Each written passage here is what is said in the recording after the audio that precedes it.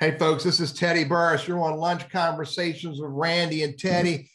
Randy's not here just now, but that's okay. We'll get through without him. So, Lunch Conversations with Randy and Teddy is sponsored by the Elder Law Firm, and we're grateful for their help. The Elder Law Firm can help you to keep your commitments to your loved ones. And so, if you want, if you want any help or ideas or conversations about estate or elder care planning, reach out to the elder law firm in Greensboro, North Carolina, 336 396 455. Tempe, how are you doing? I'm good. How are you? I, absolutely fantastic, other than the fact that I missed the share screen button, but it's not the end of the world. So, um, uh, Tempe Albright, you are covering for Randy in his absence as he fulfills his requirements with Leadership Winston-Salem. Have you been a co host before?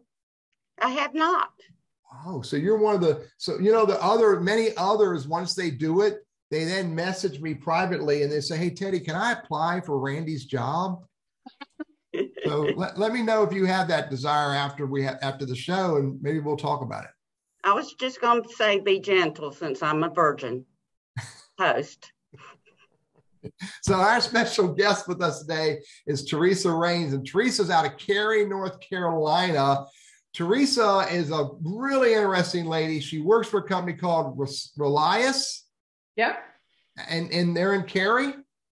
They are headquartered. Yeah. And and you're a solutions architect for them.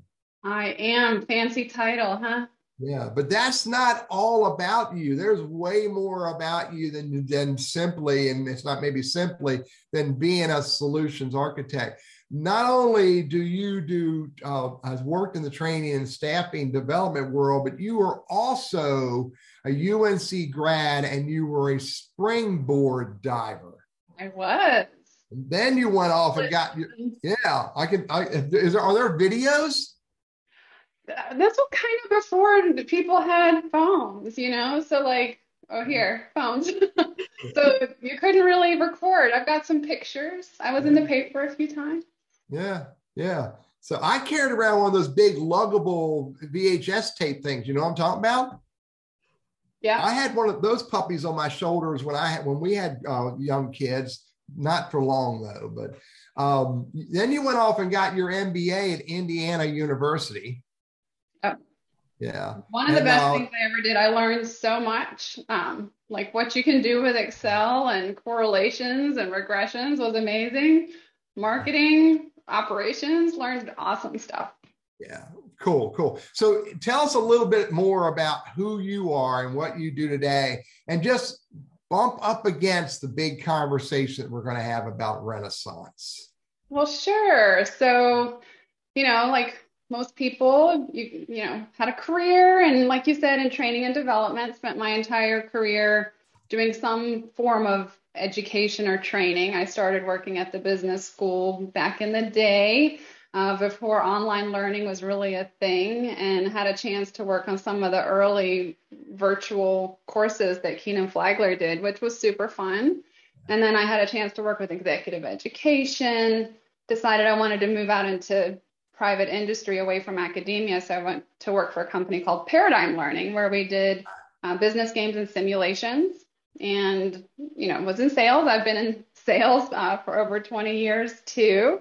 So always selling training and solutions. And now i'm at relias where i do demonstrations of our products. I do discovery calls with our clients needs analysis and architect solutions. So fun stuff. Cool. Um, and, and um and how did we meet? Do you remember how we met i do so we met at a Piedmont Triad ATD chapter event.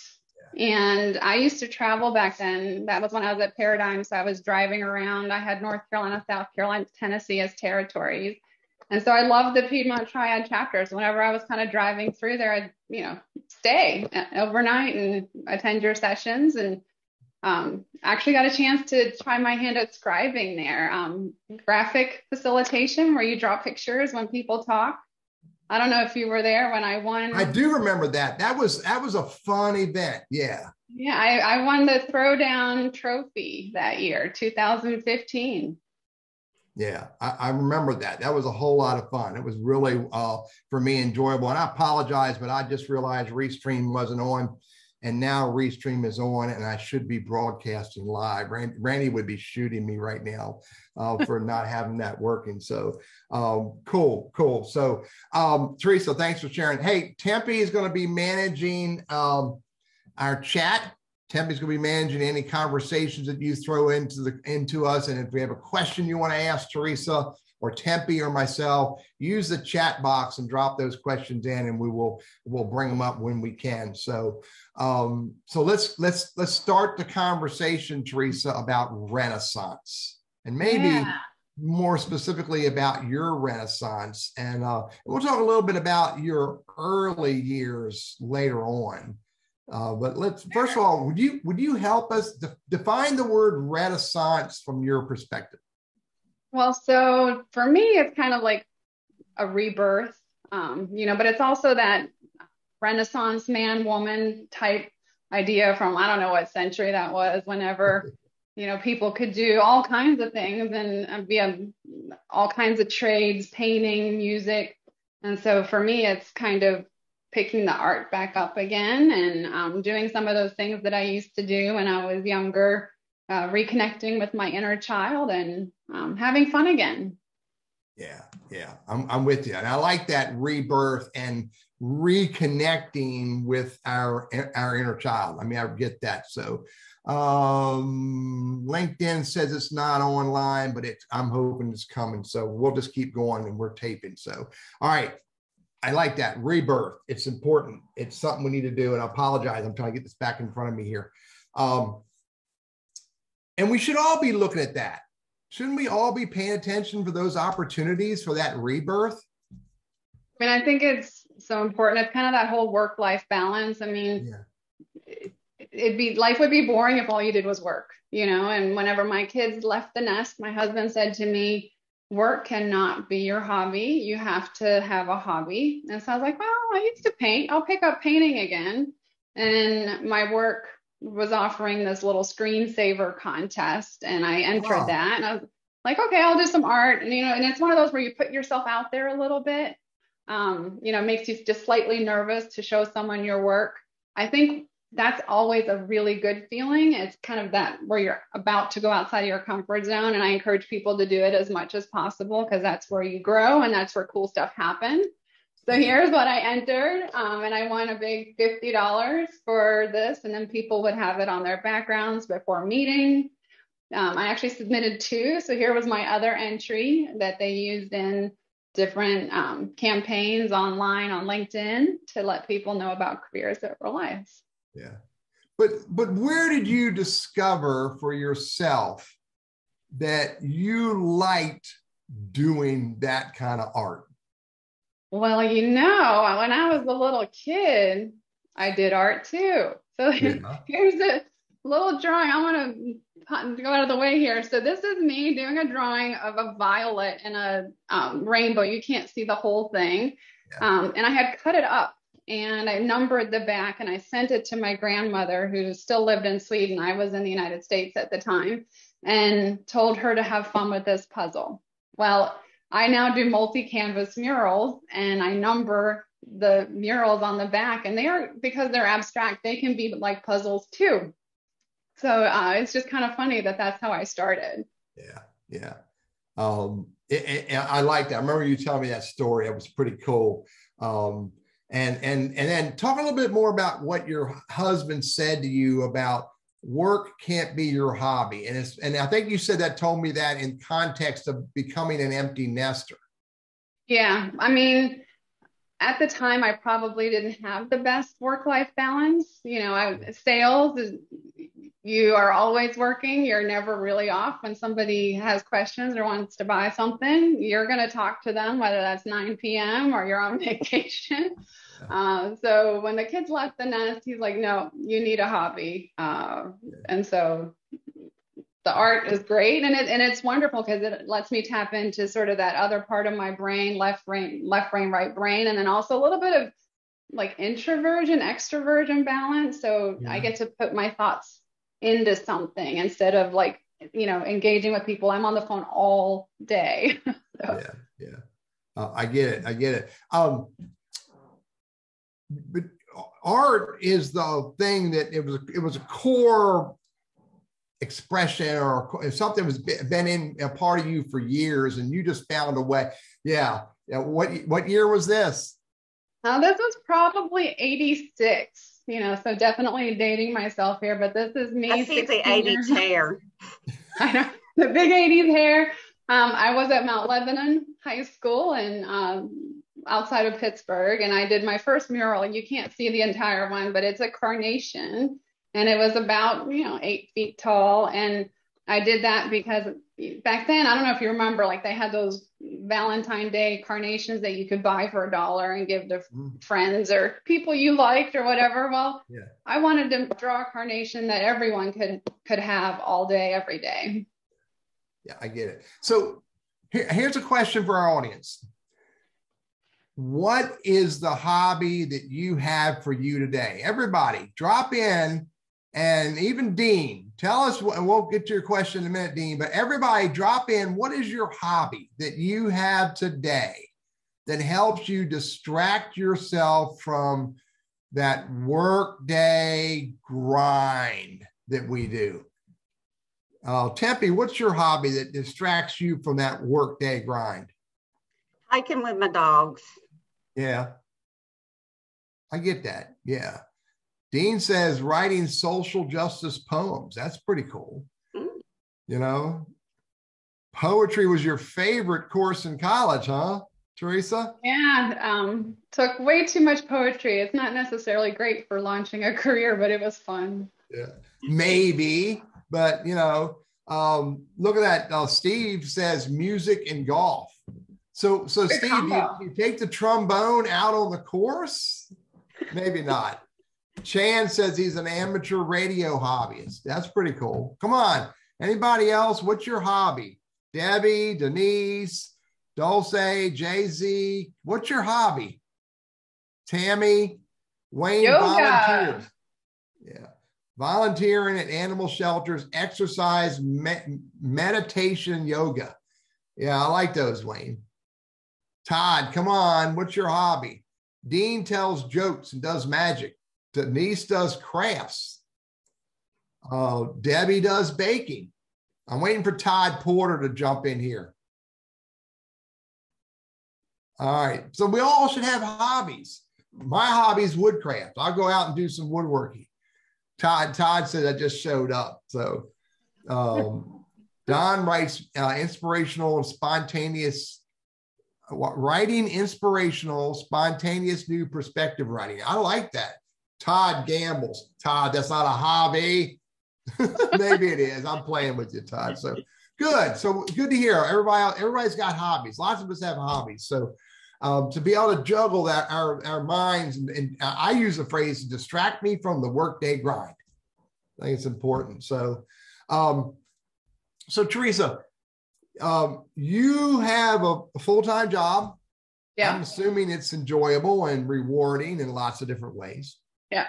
No, I, I love my day job. It's really fulfilling. You know, I learn something new every day. And I, I like to joke that I get to use my superpowers at work. Yeah. Um, and my superpowers, I think that they're listening between the lines. I feel like I can hear what people are really wanting or needing, or if they're frustrated, something's challenging, and then also connecting the dots and helping people see the, those light bulbs go off like, oh, I get it now um, or yeah, all the ways that they could use our products and solutions. So it's fun. So you, you gotta you gotta spend a lot of time actively listening to the things that people say for you can figure out what it is they really want. Yeah, and ask really good questions. Um, yeah, yeah, and that can wear you out.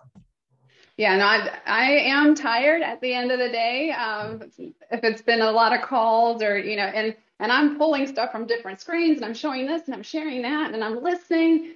Uh, so yeah, I'm exhausted when it's all over. And I'm kind of the same way with my art. Like I'll go, I'll I'll go really big and work really hard for three months, and it's you know night after work, in the morning before work, it's at my lunch break, um, and then after I finish a big project, I take a break from the studio. I might not go back in there for three months, just by, you know, because I'm that worn out. So, um, balance. Now, you, it, it you you may not be willing to say now, but well, maybe. But what worn out is the more rewarding worn out?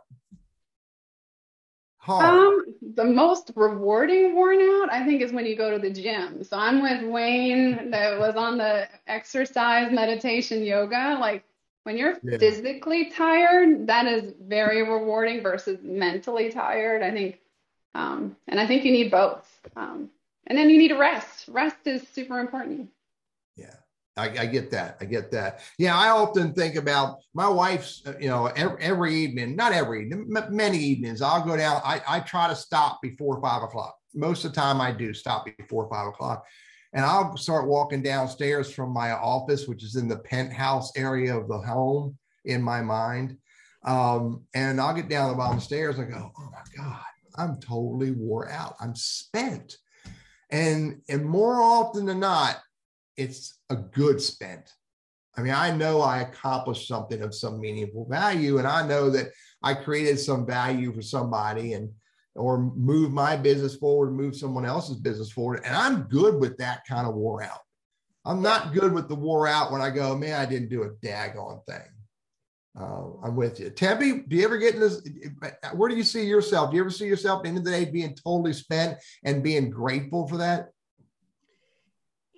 Yes, yes. When uh, when you feel like there was something accomplished. Now, if you feel that way, and you're like a dog chasing its tail, and you get that is so frustrating, and that's you know emotionally spent too, on top of the mentally spent. Yeah, I'm with you. I'm with you. So, so so you're building this do you use the word side hustle theresa? Side hustle here's here's me working. And my actually my artistic process is very athletic too. So like i work really big and stretching over stuff you know it's it's almost like like yoga ish or um so i can be pretty tired physically when i'm done with the art as well. And I do get into flow with art, so I'll lose hours, you know, like, and I won't realize how much work I've done or, you know, how, how sore I am till the next day. yeah. I, I remember getting into that flow when I was writing my first book. You know, it, you know that that story about you know you, you you type in the title "networking for mutual benefit," and then you sit there and try to figure out where you're going and I remember, you know, I, I had my uh, outline, I knew where I wanted to go, but I remember trying to get the motion. But at one point, I got going so well. I remember one night I worked till four o'clock in the morning. And my wife says, Are you stupid or what? Like, baby, I couldn't stop. I mean, it was really, real. And I tell you what, I wasn't wore out the next day but it was but it was so rewarding to see I got that flow going and it, it was really productive time. Yeah, that, that feels amazing um, when you are able to tap into it. And I can get there with Excel too. So oh, Google Google uh, Sheets is my my place today. So um, so Tempe, any questions you want to bring up? Well, you do have a question. Uh, Dean was asking, what advice do you have for converting your hobbies into a side business, a side hustle? Yeah, well, uh, let's see here. So, um, I don't know if you can see on this one, but um, I, I, started building a website. So, this was one of my first uh, website covers. And doing the business side of art was really time consuming. So, last year, after I finished my last project, I said, I told myself I couldn't do art again until I finished my website and I had set up the ability to do like merchandise, you know, like cards and stuff so that I could get my art out there, not just the originals, but prints and stuff as well. And so, you know, that part is still the fledgling part. I do have commissions coming in, so I'll do a few big commissions every year, and that's where most of my money comes from.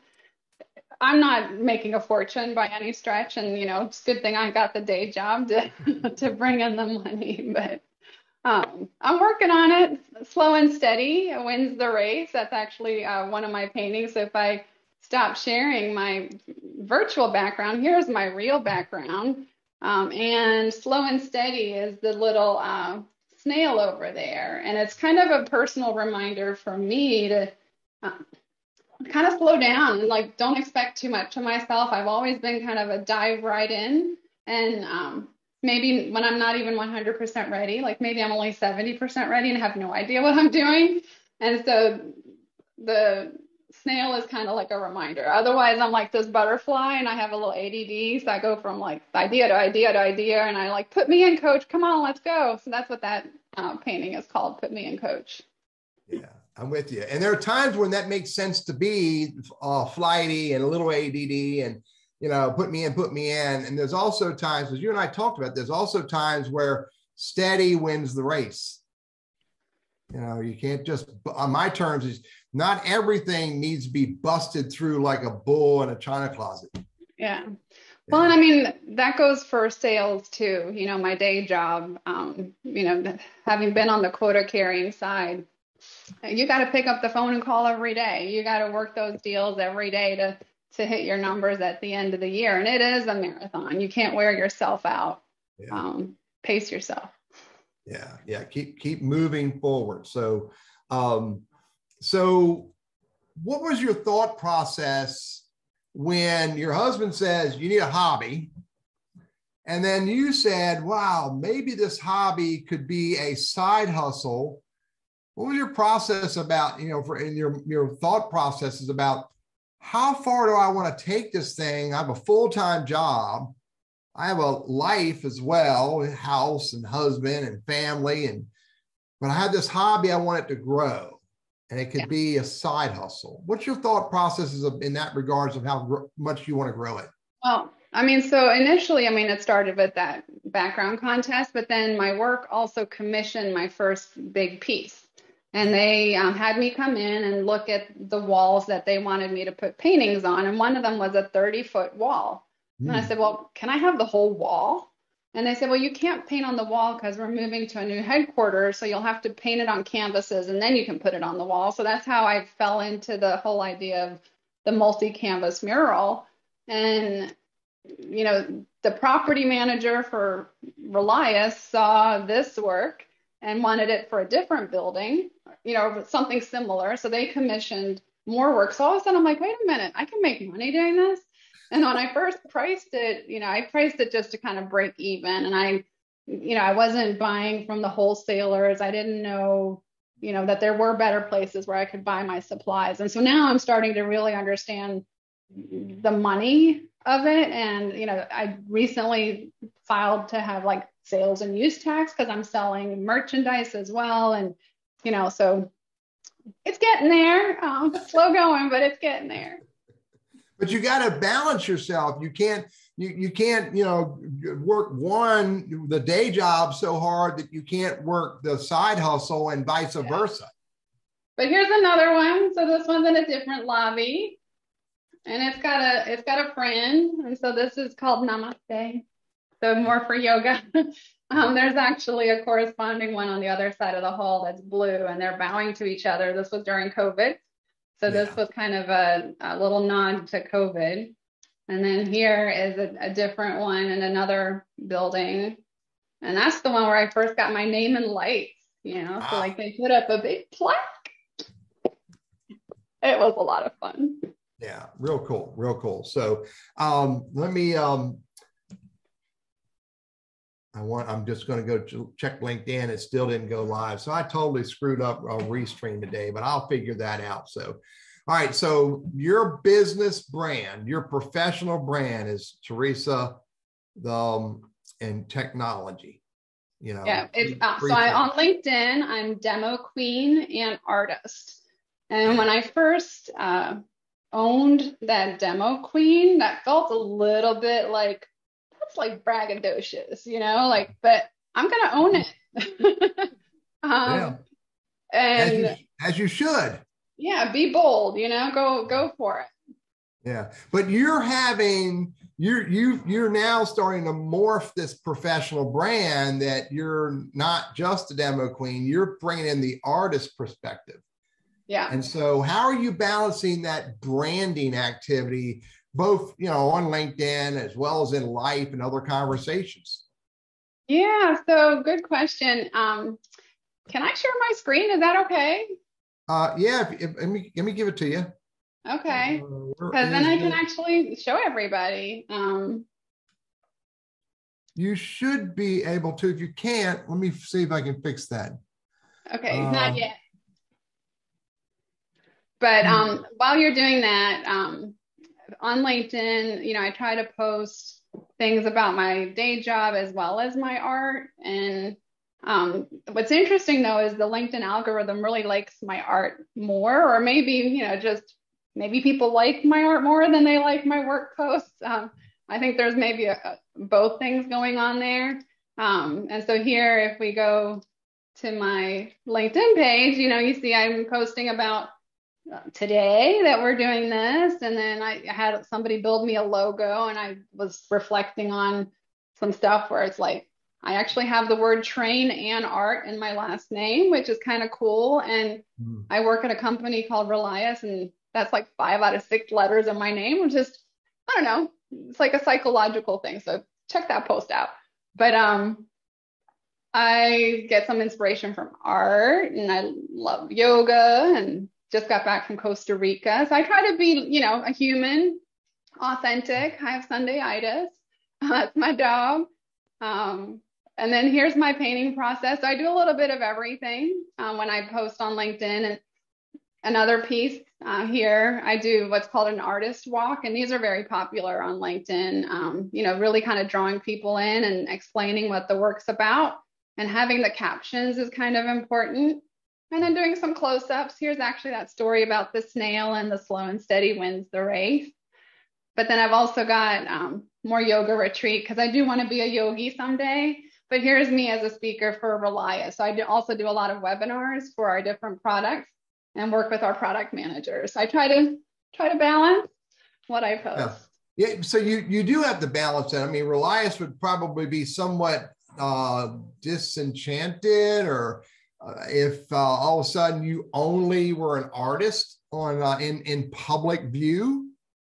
So yeah, I I so I have a pretty big network, but I'm also like connected to almost everybody at Relias, and we're like almost 900 people now. So when, when I first joined, we were 300. Now we're 900. So we've grown very fast, which is wonderful. Uh, it's been a great ride. But I, I did get people kind of commenting like, wow, you're on LinkedIn a lot. Like, you know, but then they're also realizing that because, and, and my daughter was a brand champion for Rockstar. So she, and she said like at Rockstar, they just wanted you to post pictures with the product and do what you normally do. Mm-hmm. And the fact that you had a big following and a big network on Insta was what they were interested in. And so if, when you do the research on LinkedIn, Relias posts, they don't get hardly any organic reach because LinkedIn wants them to pay. And the same thing if employees post about their employer, not a lot of organic reach there because it's like self-licking ice cream cone, you know, it's like you're just posting about your work, whatever. But when you post about your hobbies and like your actual self, LinkedIn loves it. Like when you get your promotions and that kind of stuff, that's what they want to see. And so you really got to mix it up. And so, in order for me to be successful in promoting and amplifying Relias, I also have to amplify my personal brand. And it, and I love that about LinkedIn. It lets you be who you really are. Yeah, I use the phrase, Theresa. Uh, social media is a spot in, or places for humans to have conversations with other humans. Yeah. And, so I, and I'm I'm so with you. Like one of my I hate it when people say it's just business, it's not personal. It is personal. Sales is personal, business is personal, it's person to person, even when it's B2B. Um, yeah. So yeah. So hey, now let me uh, has do, another the, good question. Hang on, Tempe. Let me do the okay. about the half hour uh, spot, and I'm sharing my screen this time. Uh, so, lunch conversations with Randy and Teddy. We appreciate the Elder Law Firm being our sponsor. Who's important to you, and how do you uh, plan to honor your responsibilities to them? These are kinds of the kinds of questions that the elder law firm wants to help you answer so that you can do what matters for those that you're there to care for, whether it's elder care, estate planning, or any areas in that space. So reach out to the elder law firm in Greensboro, North Carolina, 336 396 4551 for your elder care conversations and let them know that Teddy sent you to have a conversation with them. So Tempe, what um, what questions do you have in the in the chat box now?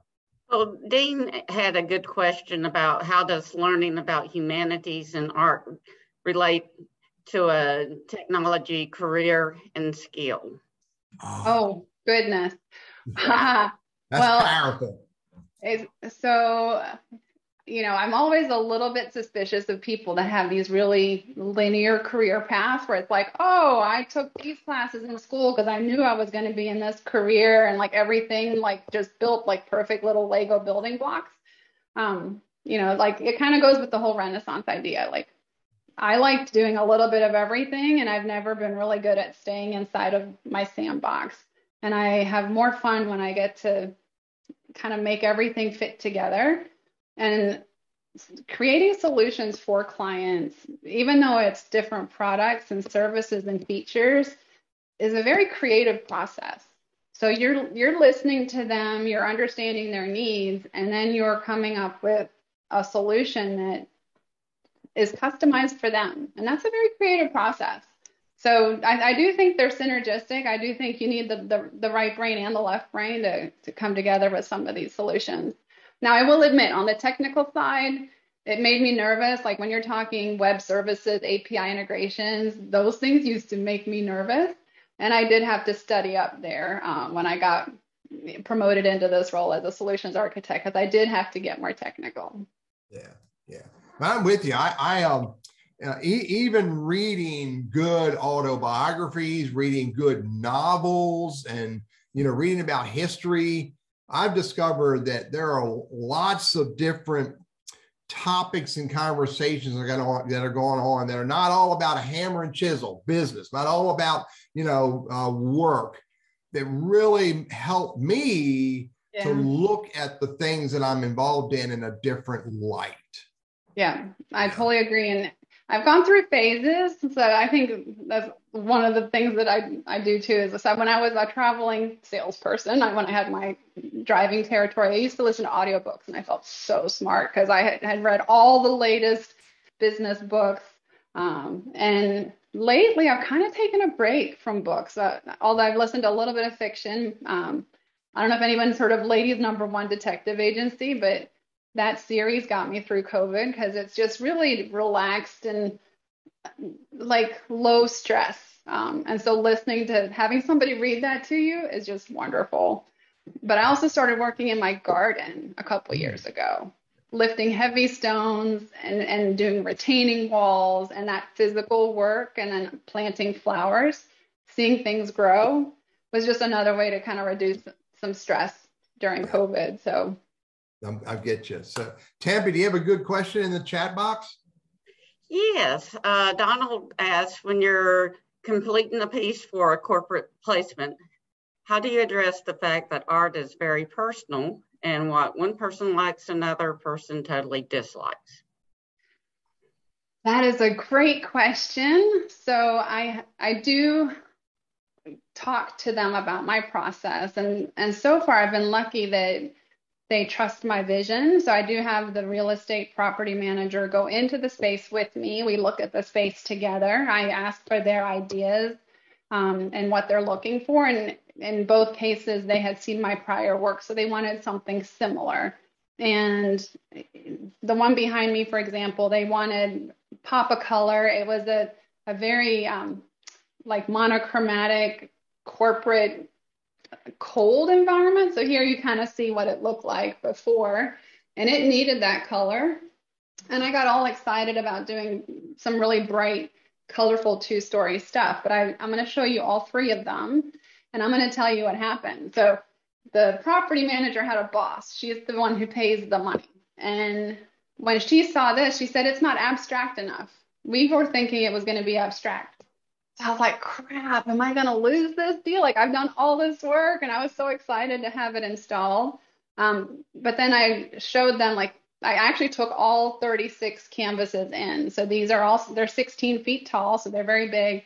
And I laid them out for them to look at. And I encouraged them to get up close because even though it looks like a mountain with trees or a, a tree or the ocean, when you get up close, they're abstract. Because um, fish don't look like that, and trees don't look, they don't have top hats. And, you know, like I, I made them whimsical and fun. And so they, they kind of like, yeah, okay, we get it. And then they put it up, and the response has been really positive. So it's been wonderful. Yeah. And often isn't that the case though, or um, and, and, we'll talk about this in a minute, maybe, you know, when you're doing corporate spaces and big public spaces, you, you got millions of critics that either love it or don't get it or don't like it.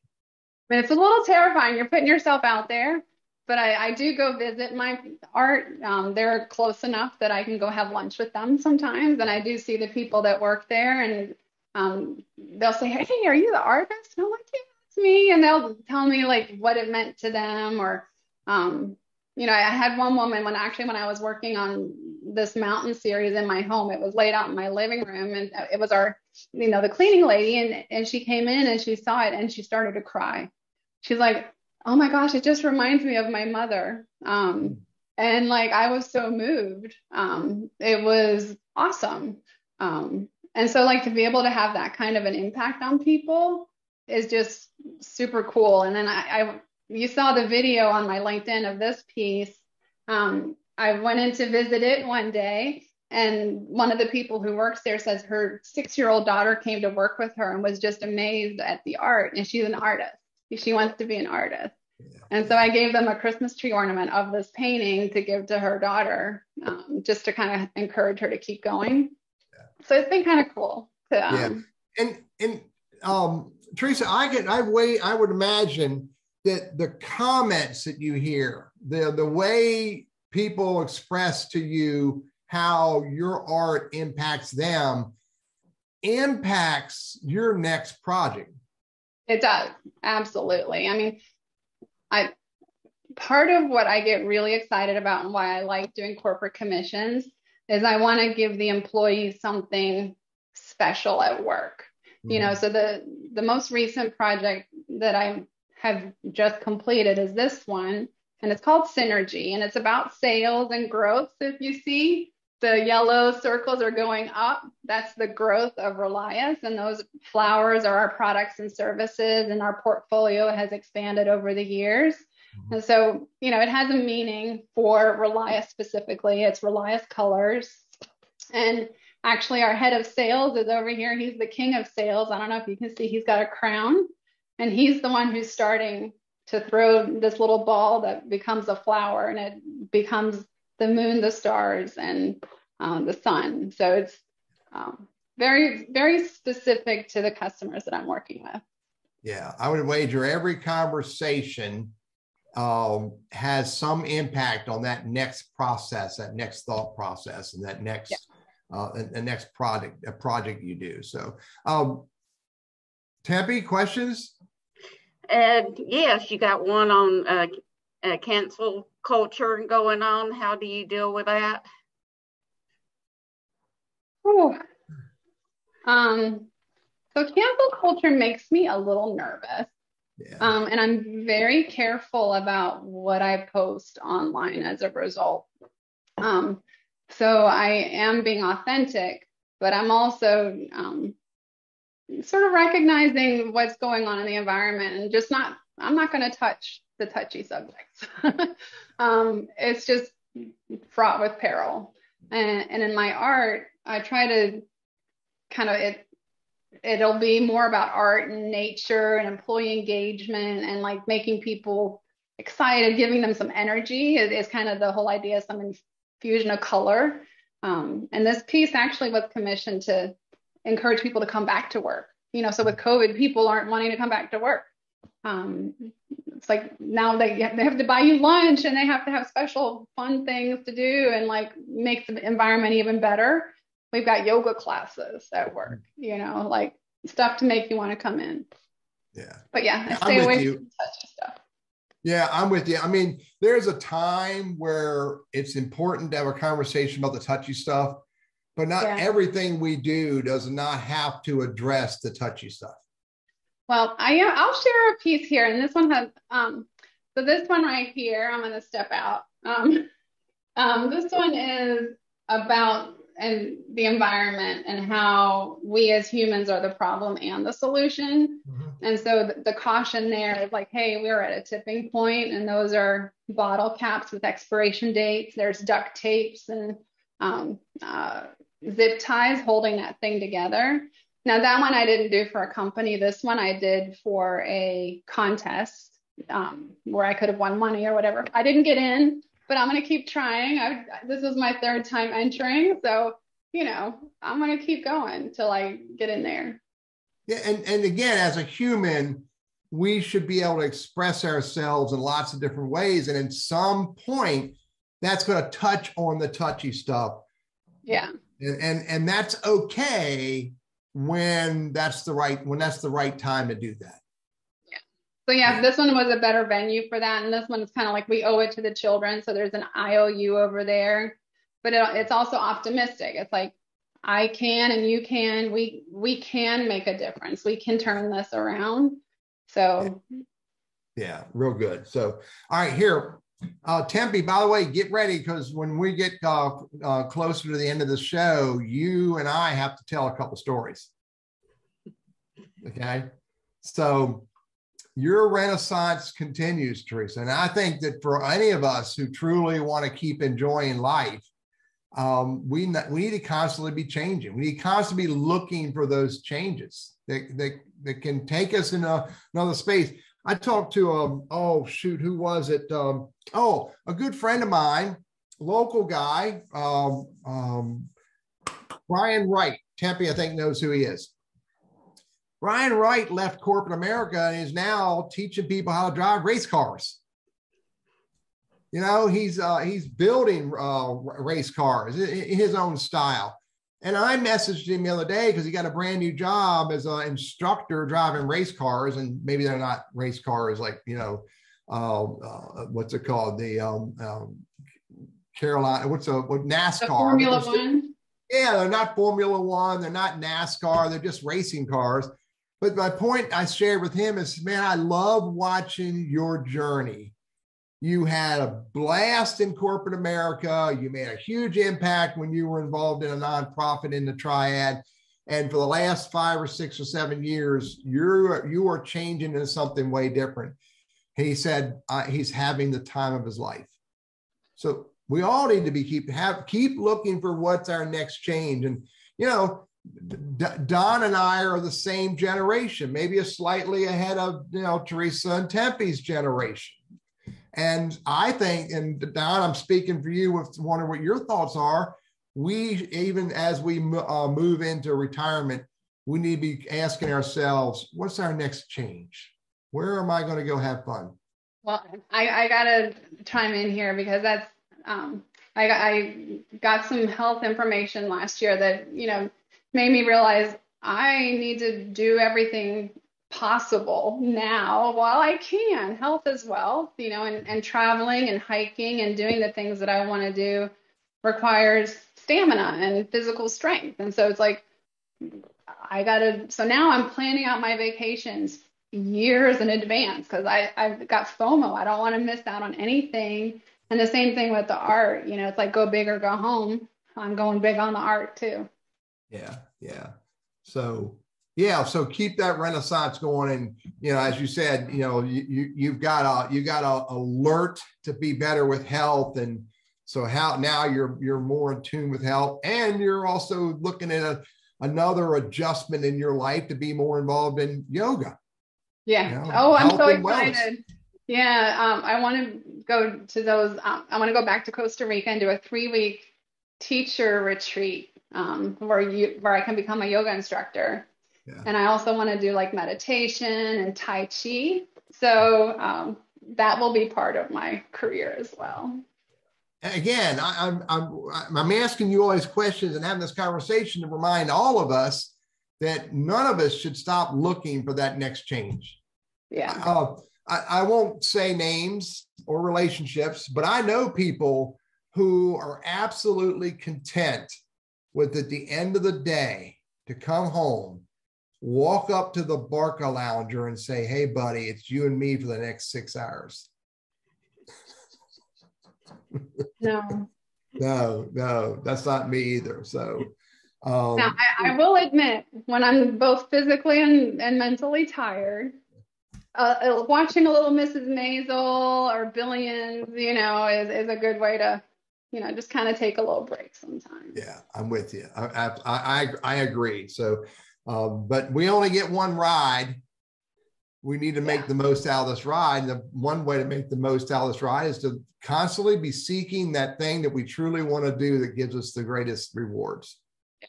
yeah so, well, good stuff. Good stuff. Theresa, um, two or three tips, two or three statements that you could share with the audience about Renaissance that you think is important for the audience to take away from this conversation. You know, just figure out what makes you happy. What is it that you really enjoy? What makes you want to get up in the morning and do more of that? Make time for it. It's so easy to get busy and caught up in the to do list, but like at the end of the day, does that really give you satisfaction? You know, make sure you spend time on the stuff that's going to make you happy. Yeah, I'm with you. I'm with you. Good stuff. Thank you for joining us today. Yeah, sure. Happy to be here. Yeah, I really appreciate it. All right, Tempe. Um, uh, here, let's throw, let's bring out Don. Don says, "Don't retire in the traditional sense. Plan your next big adventure." Yeah, the one you have been preparing and training for your entire life. Look at this philosophical dude jumping in here with solid points. Yeah, I'm with you, buddy. I'm with you all the way. So, uh, Tempe, do you do you have a story for us? Well, listening to, um, to this, and you know, we just I'm just now recovering over the March Madness. Um, the Carolina team uh, changed when Hubert Davis told the team, "Find your joy, mm-hmm. find your joy playing with each other," and when I read that he said that, I thought that was awesome. I, I, I, was using find joy in everything. And working at Goodwill, uh, a lot of the people that we deal with um, do not realize what all they have to offer. And people tend to, and Theresa uh, did it too when she was first doing into art. She was just, you know, asking for a, the price that was, you know, even. Yeah. She wasn't giving herself enough credit for what she has to offer.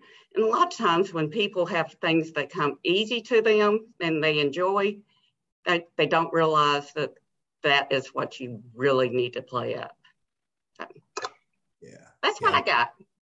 I'm with you. I'm with you. Often we take uh, our skills for granted and they just go, oh, it's just something I know how to do. And and the reality is often something that you are really good at because you just and you just do it second nature. Someone else looks at you and goes, "Oh my God, how did you do that?" And it's uh, it's amazing to some people to look at what we do that we again think is just ah no big deal. I've been doing it all my life. Um, I'm trying to think of something in my regard that I have, but uh, uh, and I know I, we all have those, and, and and it's important not to take our skills for granted. Yeah, so cool stuff. Um, Tempe, thank you very much for joining us this week. I appreciate you. So thank you. Um, so here's um here's my story. I worked for corporate America for 35 years and I I bought a boatload of wedding dresses and prom dresses and uh, you know other things for four daughters and helped put four daughters through school going to corporate America. And I was good at what I was doing. I was in technology as well, Theresa, and, and I was in sales. My my last five years, I was in sales. Before that, I was in operations for technology, and and I, and I enjoyed what I do because I, was good at it. At least I believed I was good at it. And look, I didn't say in my mind this time, Theresa. Um, but but I don't think that that real. I I know that, that really was not my real calling, and I had to figure out what my real calling was. And so I went on a journey to figure out what my real calling is, and I discovered what it is. And it was a skill. There are a set of skills that I've had for many, many years speaking, running my mouth. I love to run my mouth. Well, guess what? You can get paid for running your mouth. You can get paid well for running your mouth if you talk about something that makes sense that's important to someone else. Social media. I loved playing on LinkedIn or, or, or Facebook and Twitter uh, and blogging. I loved doing that stuff. It was a lot of fun. Guess what? I discovered I can make money doing that. And then training people, helping people figure out how to do something. You know, that, that, that led me to discover that I can be a coach, a trainer, a consultant, a strategy. And I put it all together. And look at today, I have, I'm for the last 12 years, I've been a social media strategist all because of stuff that I love to do. I have to manage it. I can't be addicted to it. But when you discover what you truly want to do and you find people who want you to do it for you, that's magic. And just as you said, Theresa, you might be spent and wore out and, you know, fall asleep early, but it's a it's a good feeling because it, it was rewarding. Well, and Teddy, I have to say, um, hearing your presentation about LinkedIn back at that ATD seminar. Has mm-hmm. helped me. And I follow your posts and I see, you know, all the tips and tricks you're giving us to get better at LinkedIn. So I appreciate that. Thank, thank you. So, and for me, it's fun to see people who take, you know, a little bit of my knowledge and a lot of their exper- experimentation and go have fun. That is rewarding for me when I you know, when I see people doing something brand new, and again, I may have had that much to do with it, but by golly, I had that much to do with it. Yeah. Well, I just did my cover video today. Whoop, whoop. All right. oh, well, good stuff. Look, we're going to wrap up a little bit early today. Um, but Theresa, again, I really appreciate you showing up. I look forward to seeing more of your art and more of your creativity shine uh, and if we can help you out in any way, don't hesitate to reach out to us. Appreciate you very much. Well, thank you. Thanks for having me. This is fun. Yeah, and and Tempe, thank you very much. Did you just did I did did I see in the chat that you're looking for the application? To, to I don't know if I saw that in the chat or not. to Are be the permanent yeah, to take, take Randy's job, or do you want to talk about that offline? I was well, trying not to know, share it with everybody. I'll raise my hand for that one. you know, the moment I uh, when I start doing my trend, uh, my uh, not be here, Randy's going to start courting people to replace me too. So, but all right, well, cool stuff. Thank you very much, everybody, for joining us. Our special guest for next week. Oh lordy, where's our special guest for next week? Uh, I'm supposed to have that right in front of me here, and I don't. So, uh, lunch with Randy and Teddy next week is our anniversary show. So this is going to be fun. I'm going to be in Gatlinburg or someplace else, but I'm dialing in, di- dialing in. I'll be here for the anniversary show. We've reached out to the audience and we found six or seven people who are going to join us on the anniversary show. We're going to talk about all kinds of things. We're going to talk about maybe some who were some of our, you know, our stellar special guests. We'll talk about some nuggets that people got from our shows that might be helpful. No, Dean, we're not firing Randy. Um, and D- Dean commented, "Is Randy getting fired?" Um, we're, we're, it's our anniversary show. Our second anniversary show is next week, uh, and so please join us on the anniversary show. We're going to be promoting this even more, and love to have everybody show up. Is there going to be share. virtual cake? Virtual cake? Oh lordy, I forgot about a cake. I got to go get a cake now. Thanks, Theresa. so, but anyway, that's our anniversary show next week. Uh, every Wednesday, 11:55 a.m. Eastern Standard Time. So, um, yeah, Dean, maybe we'll have some candles as well. So, uh, anyway, we're appreciative of the uh, Elderlaw Firm being a sponsor for us. Love them helping us out. If you know anybody else who would like to help make this show grow, please let it uh, let us know who we should talk to. We appreciate it. So you guys have an absolutely fantastic week. We'll see you later. Thanks. Bye. Bye. Bye.